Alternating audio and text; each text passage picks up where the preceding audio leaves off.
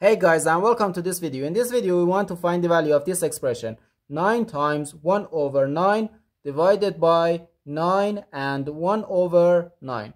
Are you ready to solve? Let's go ahead and get started. First of all, let's change this mixed number to an improper fraction. 9 times 9 equals 81 and 81 plus 1 equals 82. So we can write 82 over 9.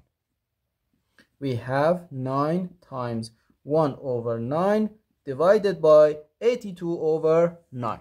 In this expression, we have one multiplication and one division. As we know, multiplication and division have equal priority and we have to go from left to right. So first this multiplication, 9 times 1 over 9. We can easily cancel this 9 and this 9. So we have just 1.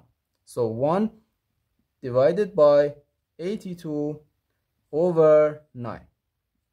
Now, according to the KCF rule, K stands for keep, C stands for change, and F stands for flip.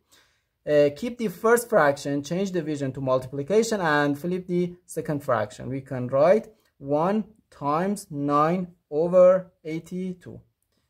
And this is just 9 over 82. So our final answer to this problem is just 9 over 82.